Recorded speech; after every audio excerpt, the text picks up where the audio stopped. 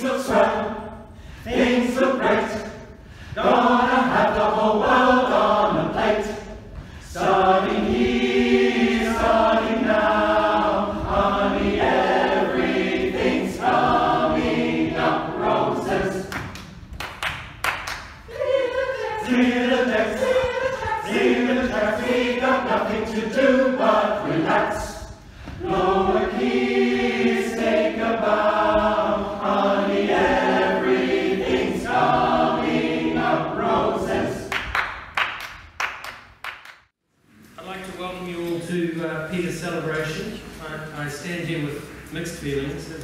Hope to celebrate Peter's 90th anniversary with him here.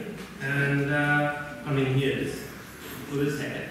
As you, any of you who know him well, he wouldn't come out on a day like this without that hat. But yet we are still here, and that's a wonderful thing because, and that's thanks mostly to Peter's organisational skills, which are fairly legend. Unfortunately, not everything quite happened here to plan, but uh, we're pushing on. Thank you all for being uh, so tolerant. I will say one thing though, that he did want everyone to mingle, so you will have to start doing that or make your peace with Peter. Now, I'd like to acknowledge the Gadigal of the Eora Nation, the traditional custodians of this land, and pay my respects to the elders both past and present.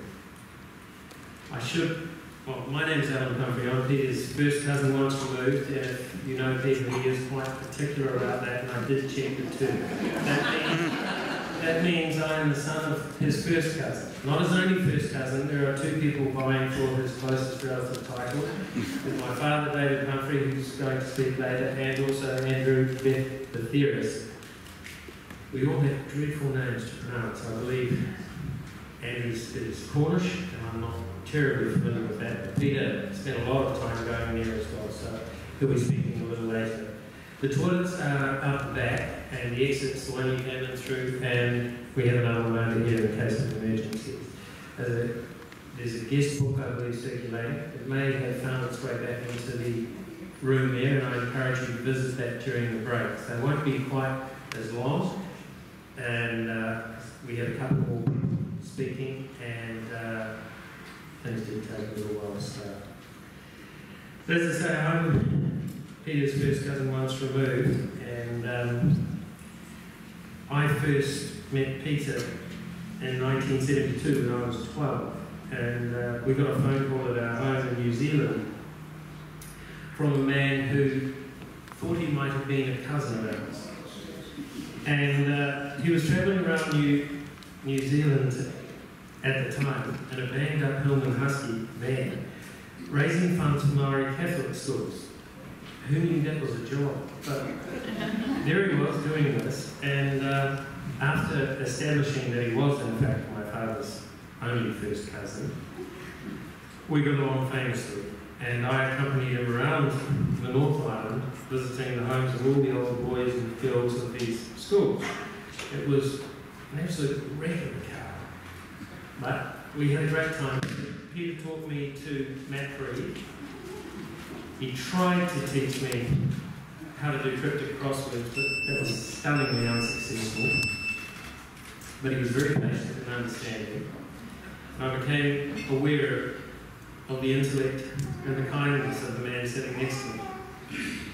A few years later, when I was 15, I'd saved enough money to come back and visit him at his home in Milson's Point uh, for summer holidays. I had two weeks visiting him there. When he collected me from the airport, this time he had a huge Holden Kingswood station wagon. Did any of you drive with him? It was exciting. but in amongst all the excitement of the drive, he told me there were three things he needed to tell me. The first was that he was gay. Most of his friends were gay. And so I would be meeting an awful lot of gay people. And uh, some of them may hit on me. Two, he said, you're with me, I'll do different things. And you save your money. Three, for yourself. And since then, that very first trip, which included going to my first stage show, which was, of course, then a relatively new show, the Rocky Horror Picture Show, out of the Theatre. That was a great time. Boy at 15 from downtown Hutt. I hadn't seen anything like it. and it sort of carried on like that. Um, and then the next day he'd taken to a, I don't know if it was maximum security prison, but it was out at Cessnock, I think. And uh, I believe the people in the room were murderers. Uh, they were debating tis better to plant a cabbage than a rose. Peter was the adjudicator. And I had a wonderful time. Never considered such. It was just like that the whole time. He has been very good friends with me ever since then, and kind of like a mix between my best friend and my second father. The one that you could tell or ask anything. And you knew that he would cope, especially after the failed cryptic crossword attempt, he could take most things and most disappointments. My family and friends have been visiting Peter now for the last 45 odd years, and uh, even friends of friends of mine have been welcomed into Peter's house and uh, have stayed with him. Recently, I had the good fortune to visit him every month and uh, I, I, would stay with him one or two nights in a month, and we would always have dinner, usually around the corner at his beloved Indian restaurant, Indian Leaf restaurant, where Venus would serve us. He's here tonight as well, because I think Venus probably saw him most and fed him certainly more than the rest of us did. And uh, Peter, as you know, well up until the end, was doing very, very well. And uh, sorting through Peter's things, for his life, really. I began to realise that as big as I thought this man was, he was in fact so much more, and to so many people. I mean, it's really quite staggering the things that he was involved in, and his interests were wide and varied, and he was fully present and engaged in all of these, even at 90. Did you know that, for instance, he was an advisor to the EU on the disposal of nuclear waste? I didn't. I'm going to read that the last one, still, my homework. He's an amazing man. And he was there for my family and myself all of my adult life, ever since that very first phone call. Always encouraging, supportive, and understanding, and also informative. And he always wanted the very best for us. Now, I will always try to be worthy of Peter. There are a lot of people here who I won't try to cover all the areas that which Peter was involved in. We've got some speakers from some of these areas who could get there, and uh, I'll let them tell their stories. I'd just like to welcome you and thank you, Tim and Max and the team for coping and putting all of this on for us. And uh, Right now, I'd like to uh, welcome my father, first equal, closest relative, to Peter, to speak. Where is, yeah. There.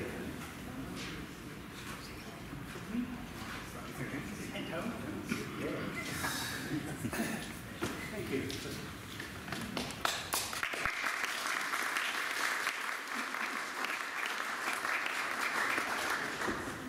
Uh, Forgive me for this, but I need all the help I can get.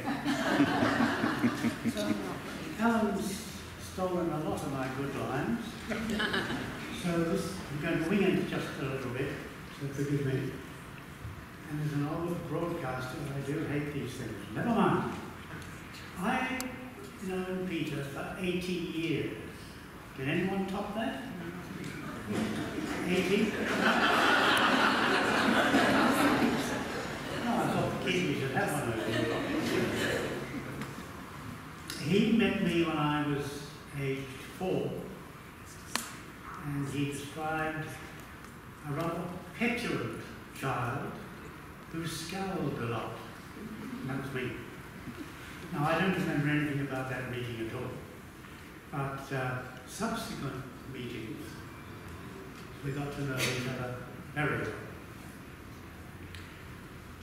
We were all amazed that he was raising money for Catholic schools because I, a little bit surprised, my father was a Quaker,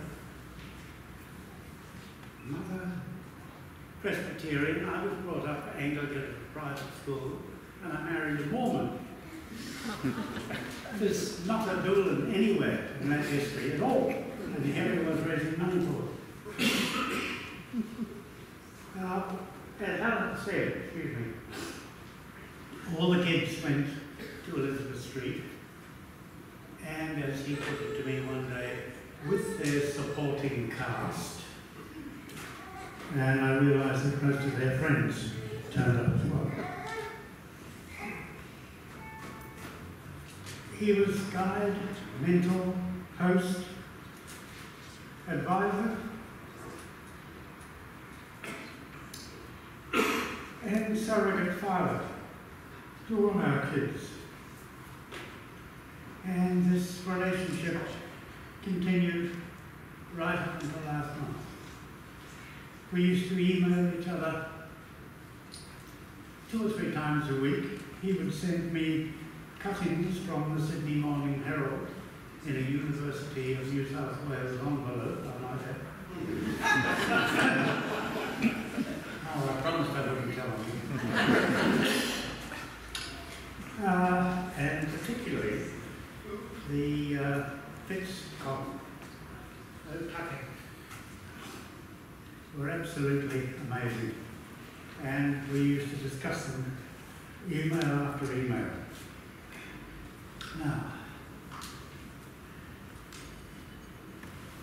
uh, Fitz's column, just briefly, as you know, he's uh, the head of the Republican movement, just as well he's not a New Zealander, because that's firing squad, squad sort of country, that one, where we come from. Um, we Peter terrorism.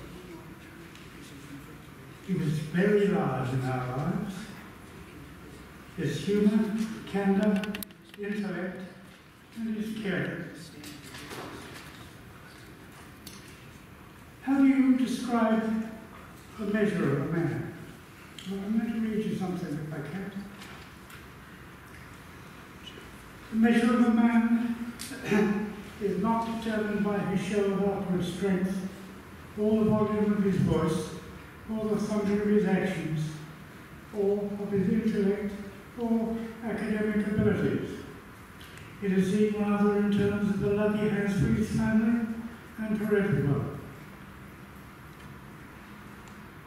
The strength of his commitments, the genuineness of his friendships, the sincerity of his purpose, the quiet courage of his convictions, the fun, laughter, joy, and happiness he gives to family and to others, his love of life, his patience, and his honesty, and his commitment to what he has.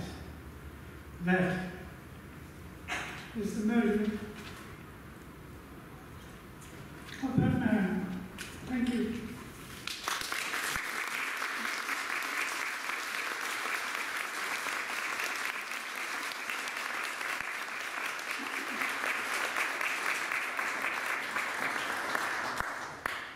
Thanks, Dave. Uh, next I've got, uh, Andrew, would you like.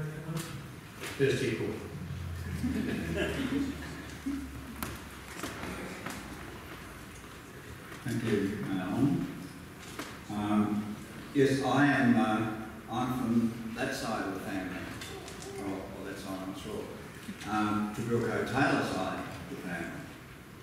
Um, and my relationship with Peter didn't, didn't start 40 years ago or 50 years ago. It was fairly recent. Um, because I lived in Melbourne and Peter lived up here.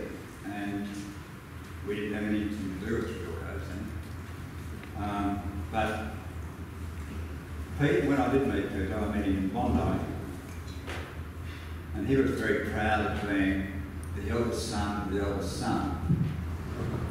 Um, his father, Alan, was the eldest of the Trebilcos, and my mother, Molly, was the youngest.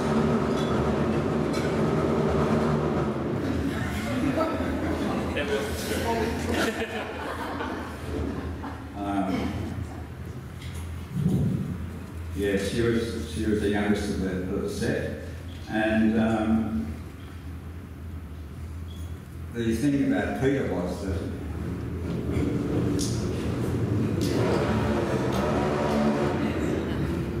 uh, a bit of interference. Um, he, um, he was always very welcoming and um, encouraging, and I lived in Bondi at the time, and my parents died.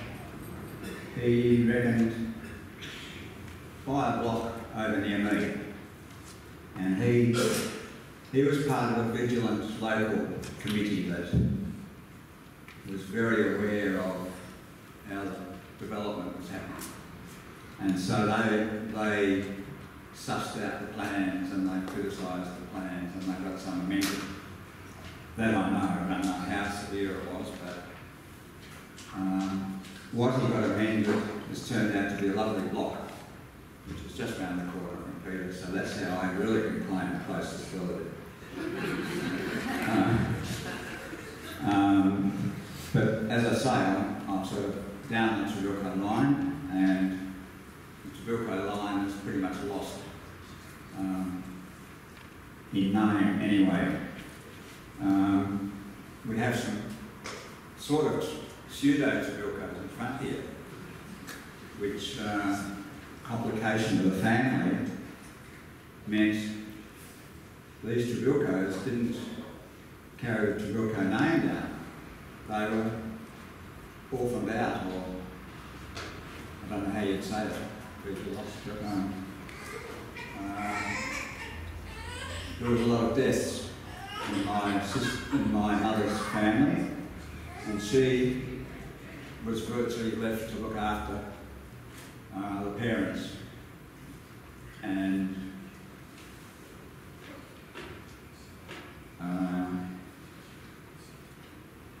and these these children of her brothers, particularly, were, as I say, farmed out and well looked after, and they have different names.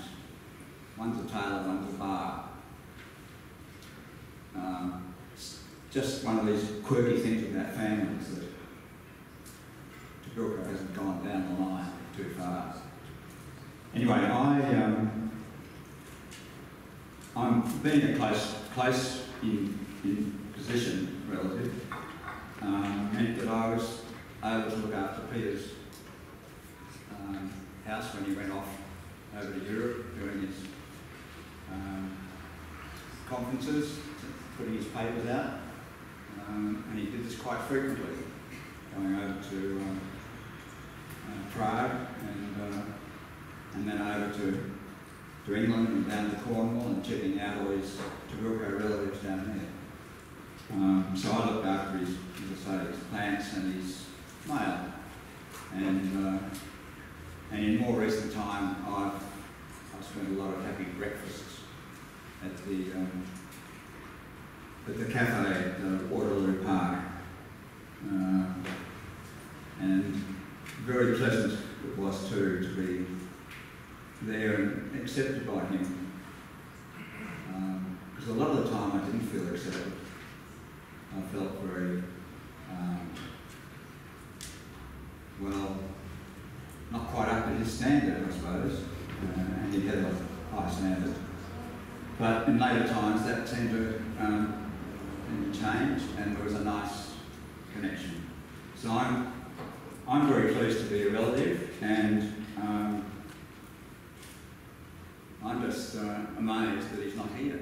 I mean, here he's done everything but be here. Where are you? I mean, he's here. He's here. But, um, I'm sure he's looking down on us and probably enjoying everything about what we're telling him. Thank you.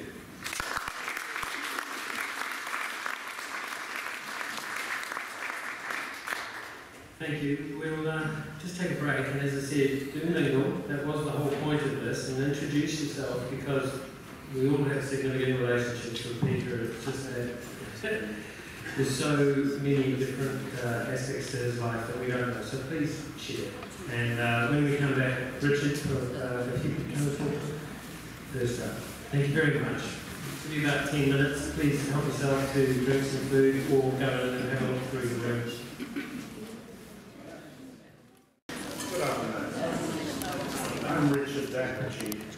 Been asked to speak an appreciation of Peter's life uh, amongst family historians and heraldists. Two aspects of his life and interests which are probably little known to many of his friends and colleagues, and another aspect of his life, multifaceted and interested as well. I do so with the advantage of a friendship that really only spans a third of nearly 90 years. Peter died suddenly at home at Waterloo on the 27th of October at 89 and three quarter years. This wouldn't have come as a surprise to him and shouldn't come as a surprise to his many, the many friends uh, we'd already invited for today to celebrate the completion of his 90th year. Sadly, that was not to be. I believe he would have been grateful for the swift and hopefully pain-free death compared to the deaths of many of his friends. And that he would have been disappointed to miss celebrating with his friends. Peter was born in Melbourne on the 15th of December 1927 to Alan Trebilco and Dorothy Kitto. Peter's family moved to Sydney and he was educated at Knox Grammar School and the University of Sydney. He worked in the public and private sectors in areas as diverse as the furnishing retail industry, education and the Health Commission of New South Wales. Although he retired from full-time work, Peter continued to maintain his links in the health field as a visiting fellow at the School of Public Health and Community Medicine at the University of New South Wales to his death. Joining the CMF, the precursor of the Australian Army Reserve in 1948, Peter began his military life as a gunner. He advanced through the ranks and was eventually commissioned. He held the rank of Major when he transferred to the active list in 1964 and moved to the retired list in 1973. He was awarded the Efficiency Decoration for length of excellent service. Peter had also had a long-term involvement in voluntary activities in the community health as one of the founders of, in the early 1970s, of Camp New South Wales, now the Gay Lesbian Counselling Service, was a member of the board of the Mental Health Association of New South Wales and as a human rights advocate. In 1984, he was made a Fellow of the Australian Council for Health, Physical Education and Recreation, and in 2004, he was awarded the Medal of the Order of Australia for services to the community through a range of health, social justice and welfare organisations. Some 32 years ago, in 1968, uh, 1985, Peter joined the Society of Australian Genealogists, of which I am a past president, and he became a volunteer in 2004 as a regular library assistant.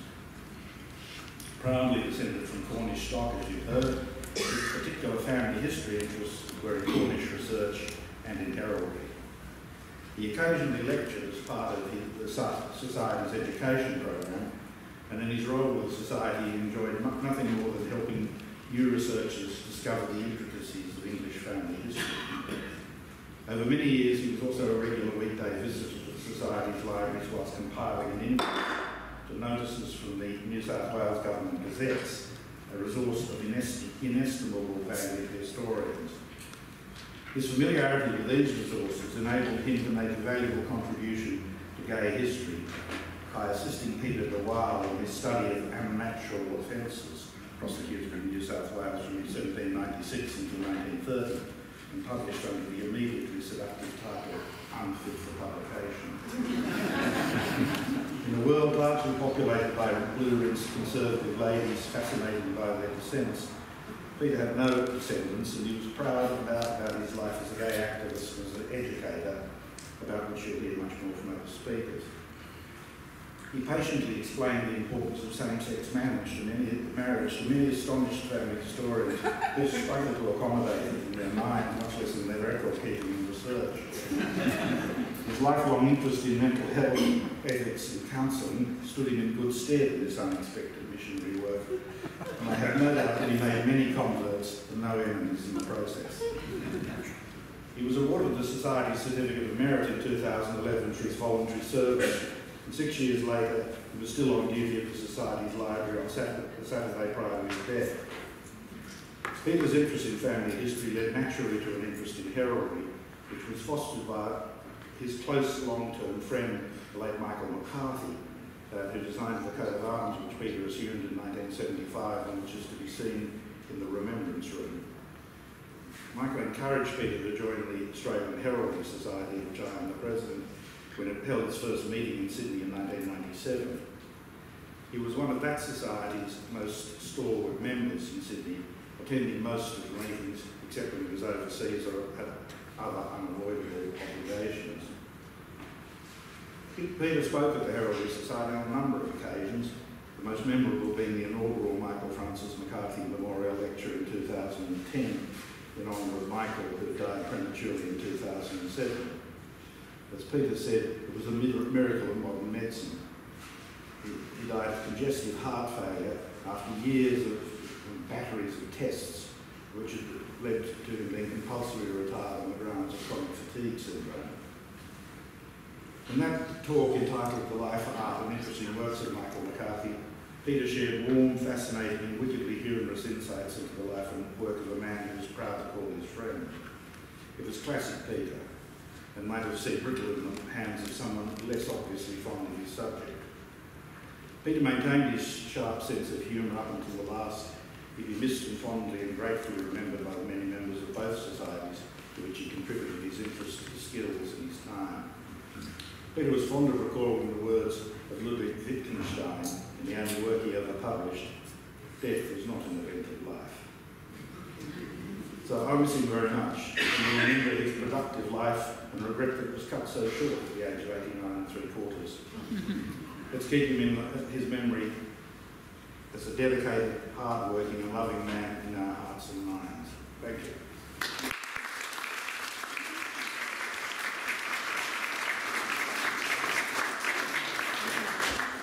Thank you, Richard. Uh, Da- Is David Thomas, would you come to There we go. Thank you.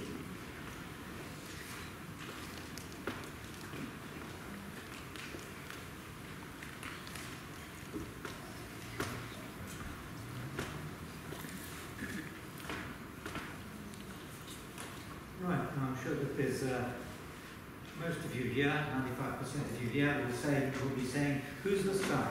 You've never seen or heard of me, um, which is not surprising. Um, but uh, I'm here as a representative of the School of Public Health uh, at the um, University of New South Wales.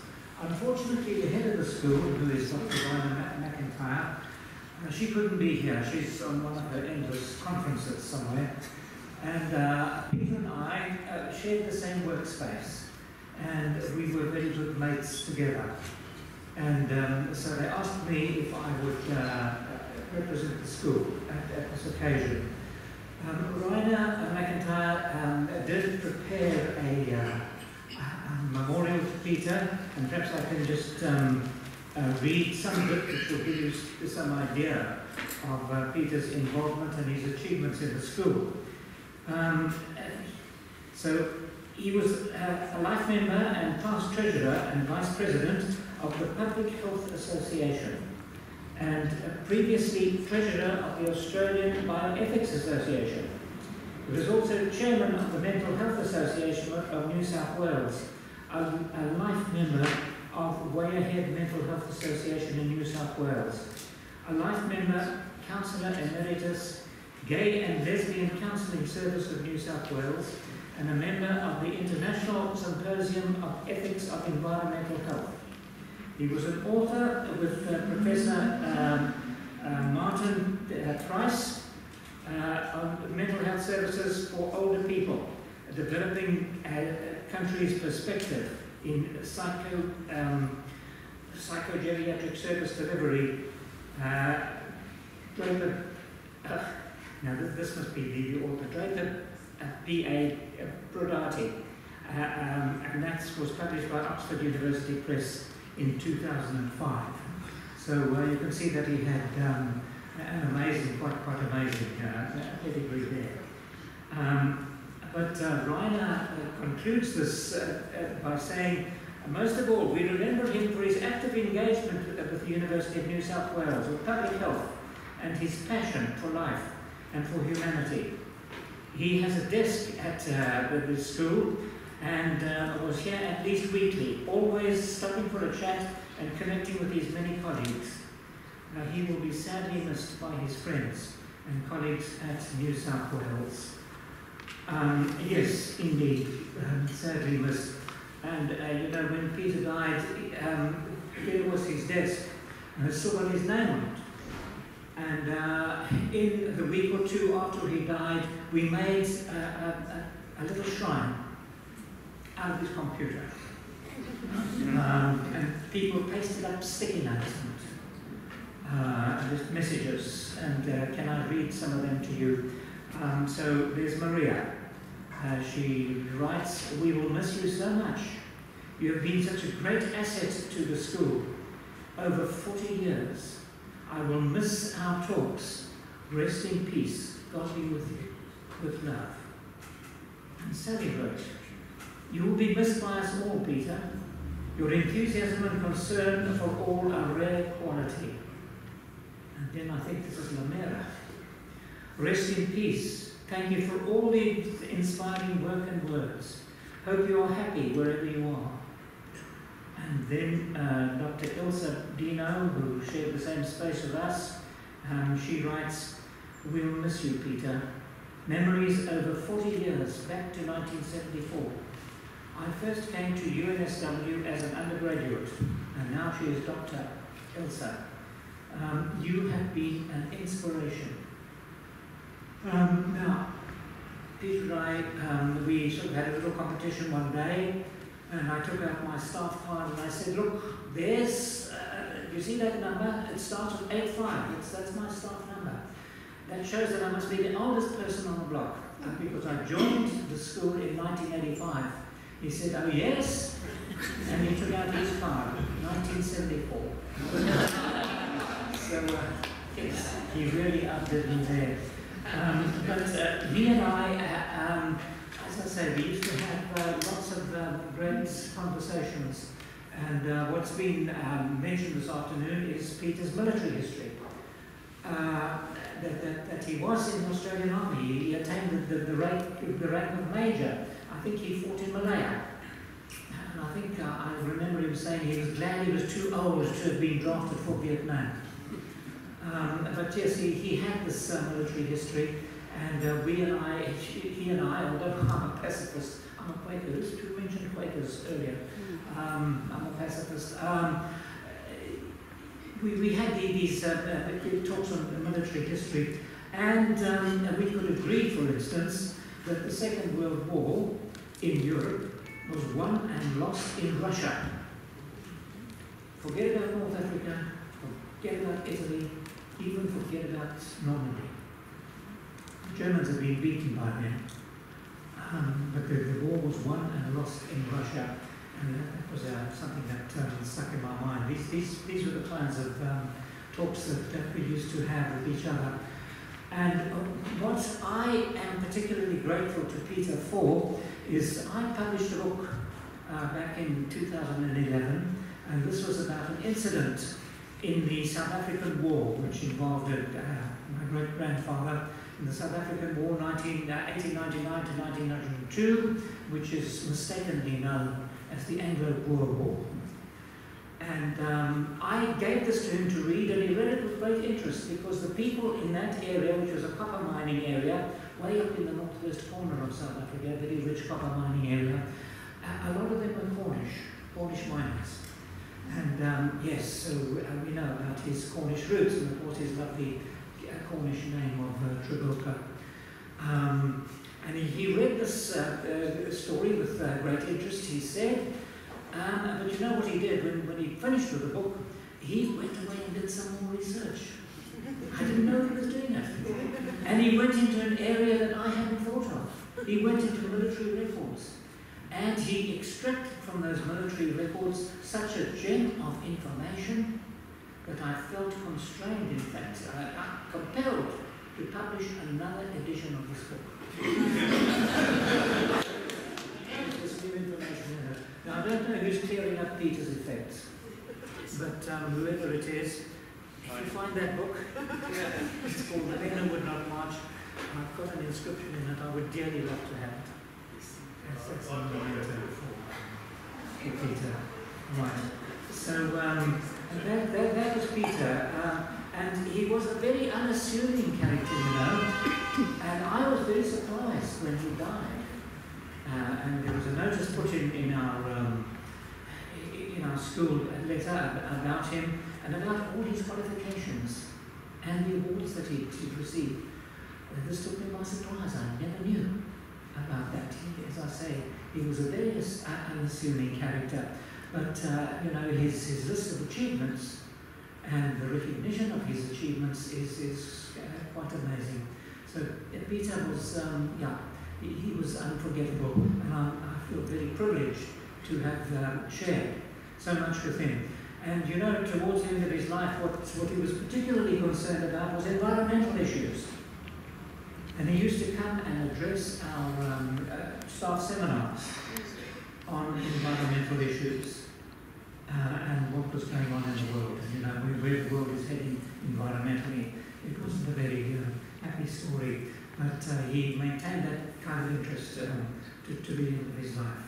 So I would say to Peter, and uh, I think he would um, probably understand me, Vale, vale, acque vale, amicus cara. Farewell, farewell, farewell forever, my dear friend. Thank you.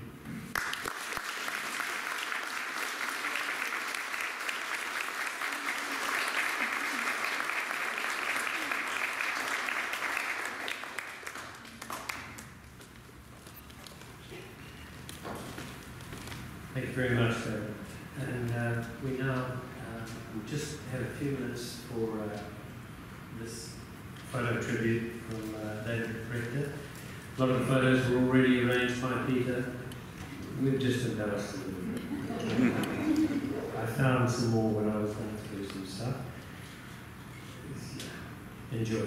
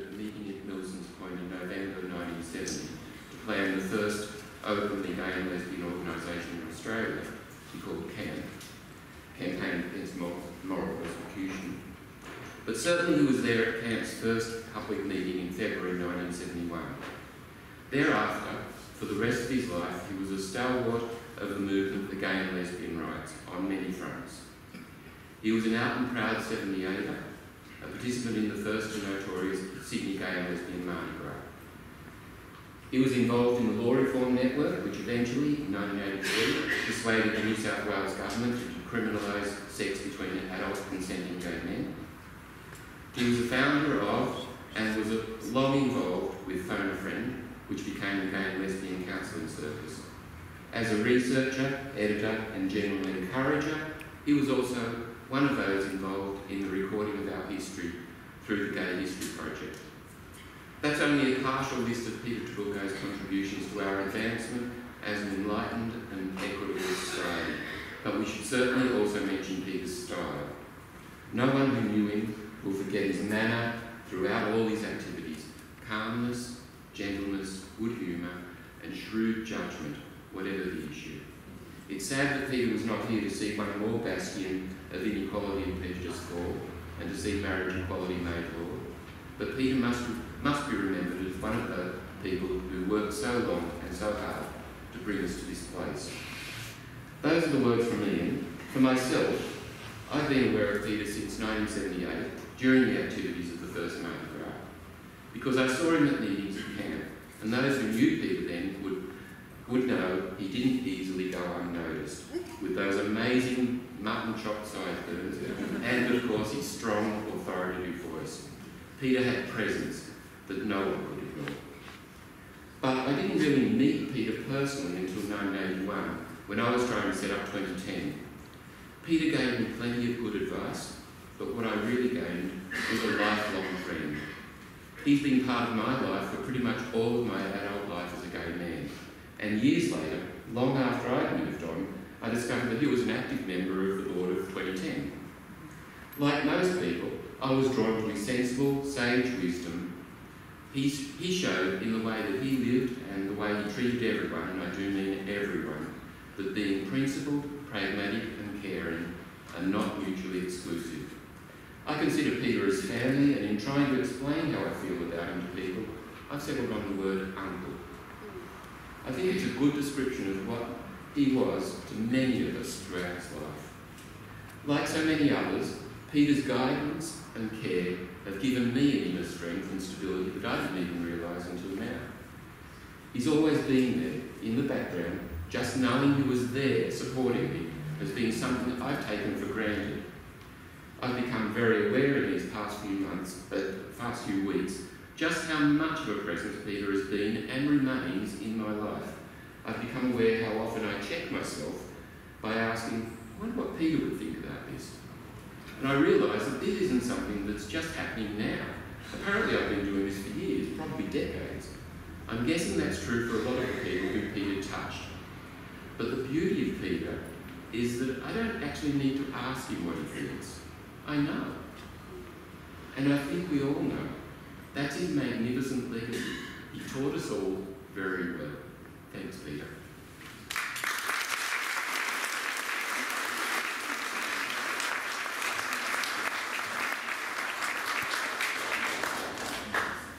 Thank you. Mark. Thanks.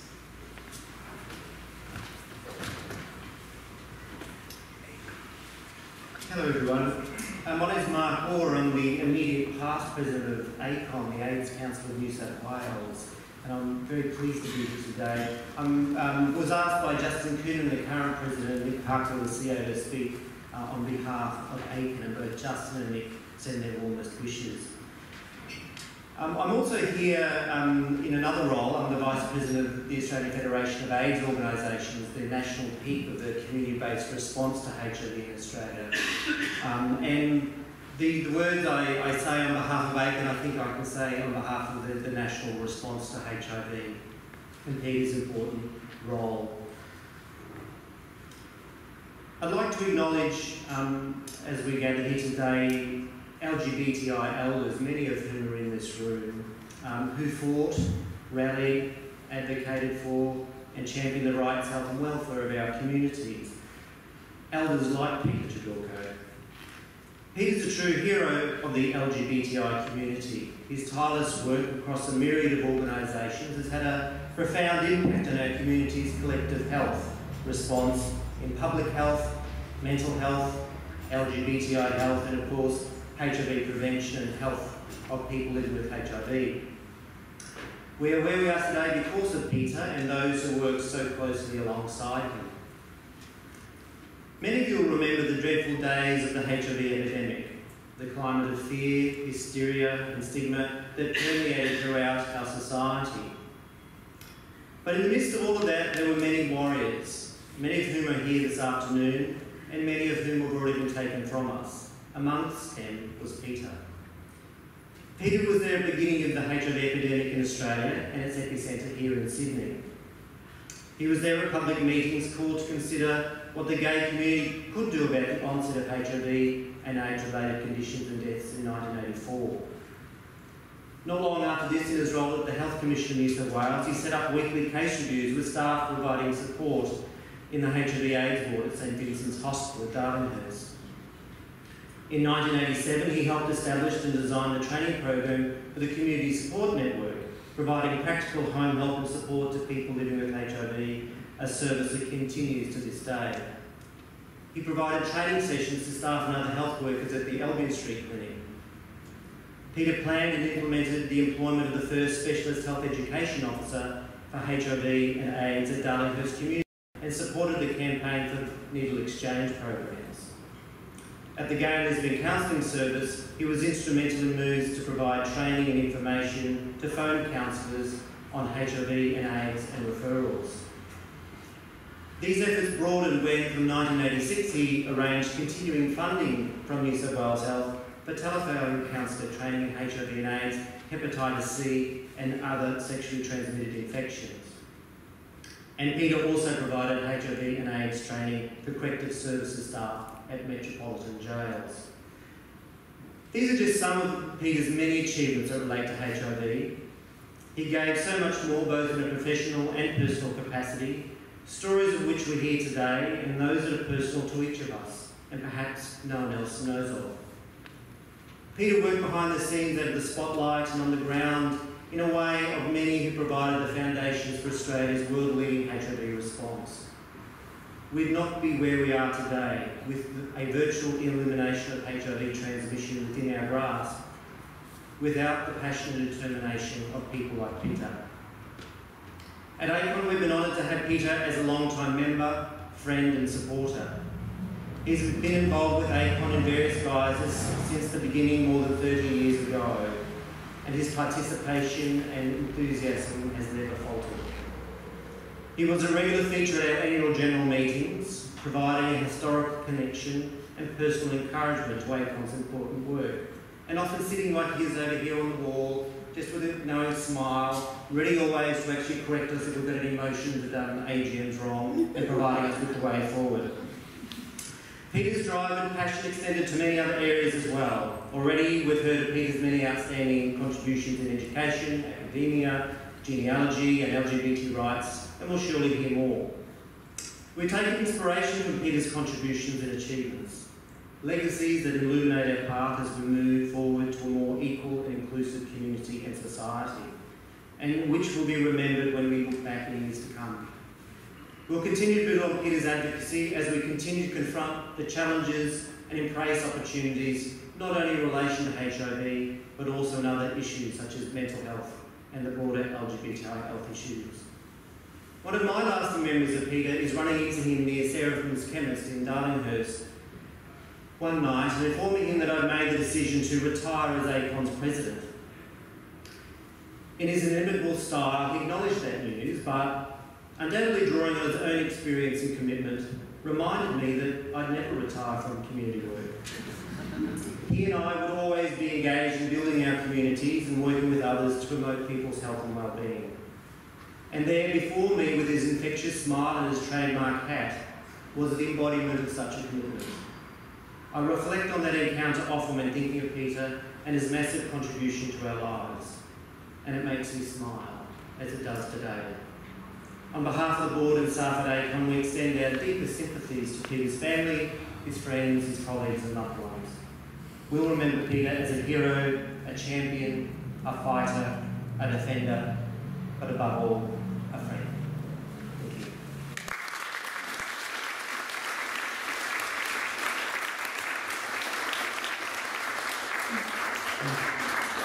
Thank you, Mark. Now, Peter had asked my two daughters to uh, perform songs for him at this celebration. Unfortunately, one of them has a screaming head cold. So what we're going to do is, um, if you like, we'll take another break for 10, 15 minutes. So please, there's plenty more food. It is supposed to be a party, after all. And uh, then we'll come back together and carry on with the program. All right? Thank you.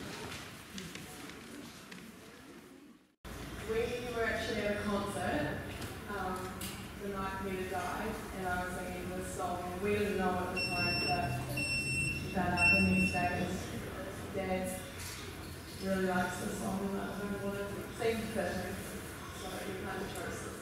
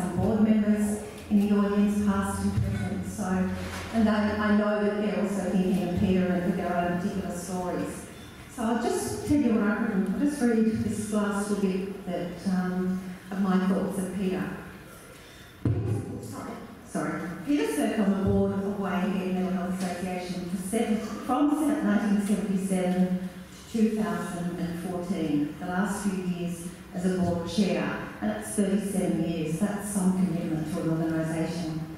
Um, I first met Peter in about mid-1990s when I started the association, and he was an important figure in my life from that particular time onwards. Peter was a true gentleman, such a good dresser. I remember seeing him not long um, before he died. He was walking down William Street. He had his hat on and he had his suit, but his trousers were perfectly pressed.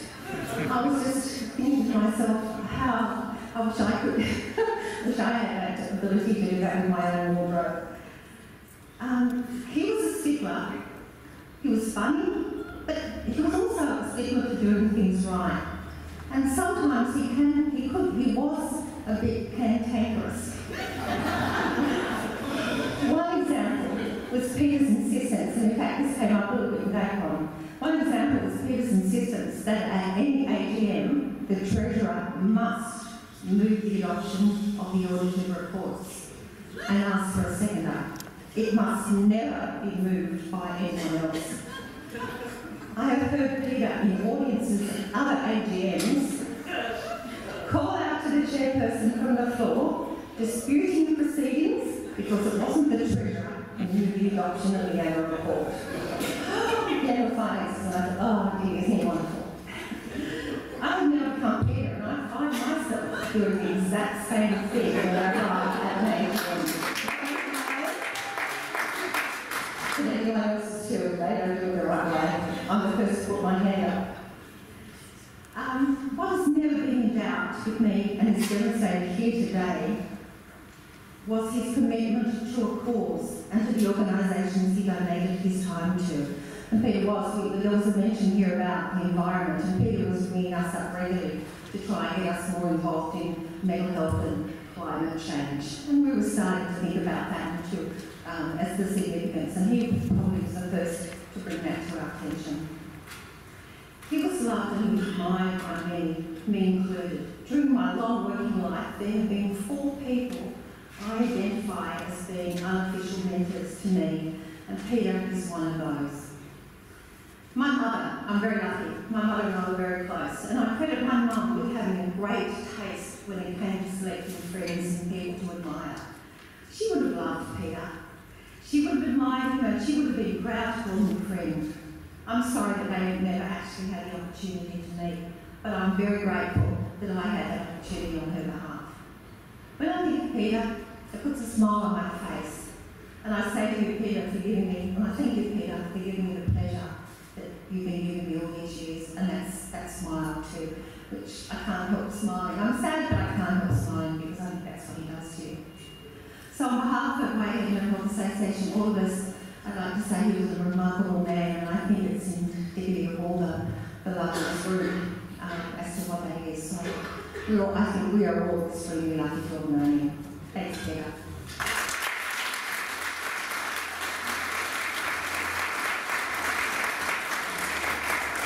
Thank you very much, Susan. Uh, Terence. Terence, I'm you're Trinity.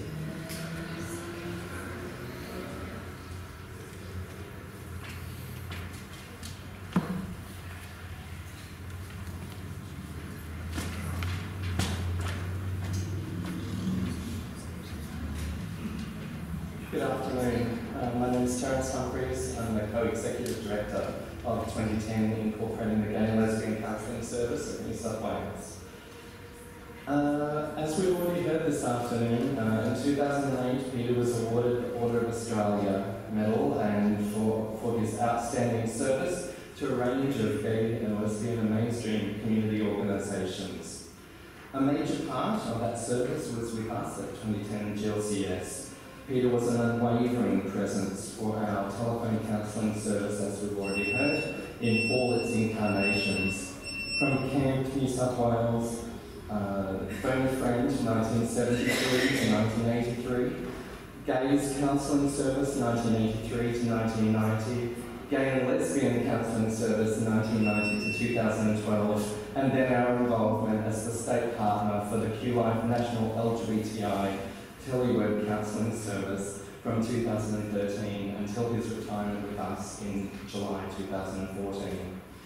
In addition to listening compassionately to countless members of our communities on the phone lines for over 40 years, Peter made a colossal contribution to the organisation, the development and representation of the organisation as one of the founding members of CAMP New South Wales in 1970. Many years as a co-president and board member of GLCS and GCS, training development, ongoing training delivery, and volunteer support and other roles throughout our histories.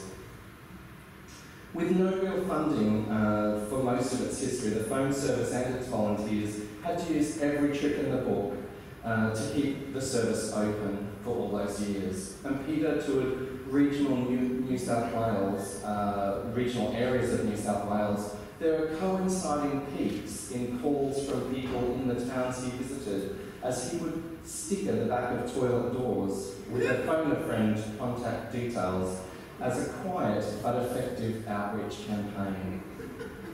I cannot imagine how many people whose lives were literally saved by those stickers. Folks who were talked back off the ledge by Peter or whose overwhelming despair and loneliness was eased by the sound of Peter's voice.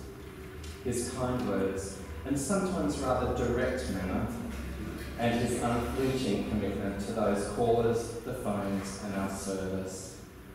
Now, a decade ago, uh, long before I was co-executive director, I was an extremely nervous volunteer who stood on Bedford Street in Newtown, pressed the doorbell and waited very nervously, and no sound was coming from inside this building, so I pressed the doorbell again, and I checked that I had the right uh, address and thought I'd made a mistake here.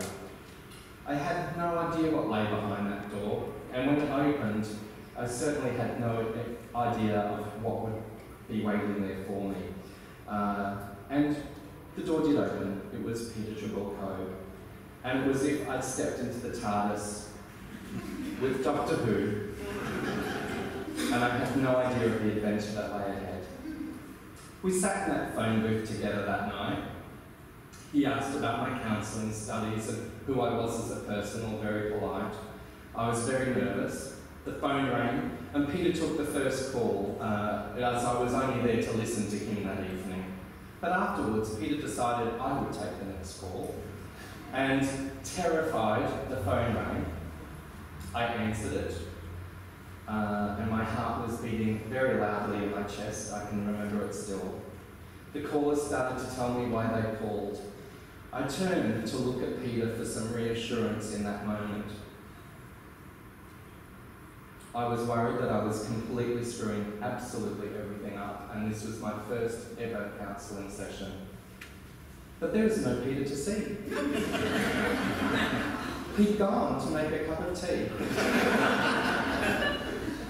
I was free fall, white knuckled, in terror, but Peter had gone to make himself tea. And such was his judgment in those moments. You either made it or you didn't make it with Peter. His tough love nudged me out of the nest that night, and I have him to thank for it. I wouldn't be here today otherwise. He helped hundreds of other volunteers in exactly the same way, maybe not exactly that way, but very similar ways. um, he helped us find our land legs and uh, become those telephone counsellors that went on to, to take thousands and thousands of calls over the years. Um, many of those counsellors are here today, and it's so nice to see you all. In 2004, uh, sorry, 2014, Peter resigned after more than 40 years uh, with the service, and to honour his outstanding commitment and achievement, we named our annual volunteer award the Peter Trebilco Award for Volunteering Excellence. Peter had been at the event each year to proudly present the award to recipients.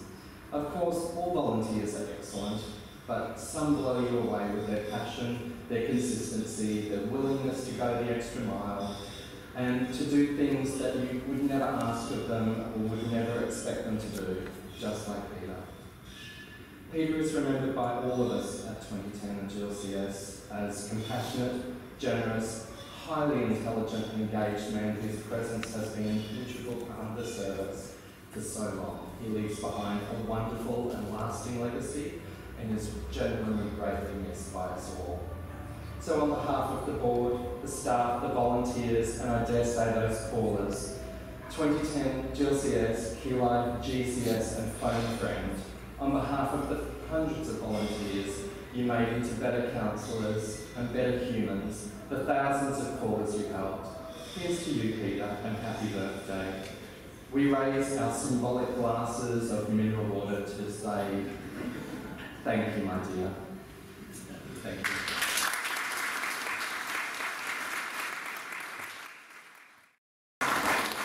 Thank you very much, Terence. It does amuse me we all talk about Peter's fashion sense, because he used to get the worst sweatshirts and t-shirts. I was never sure if he was kidding or he was just hoping that one day we would wear them and be caught on film somewhere. They were ridiculous. Do you remember them? I mean, those ones with the koala bears, they were full, full textured with eyes and everything. Where on earth do you get to wear this? And so each Christmas you try to take at least one photo and send it to them, but you were never going to them. I mean, unless you had a lot of really good friends, that they were probably and you were at a party.